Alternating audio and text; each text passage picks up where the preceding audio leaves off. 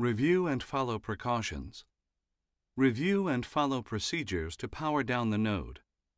Disconnect all peripheral cables from the node. Note: The Apollo 2000 chassis supports 1U and 2U server nodes.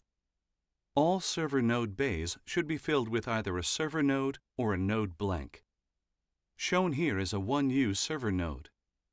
The removal and replacement procedures are performed in a similar fashion for both 1U and 2U server nodes and blanks. Loosen the thumb screw. Pull the handle out to disengage the server node from the chassis. Slide the server node out of the chassis. Caution! To avoid damage to the server node, always support the bottom of the server node when removing it from the chassis.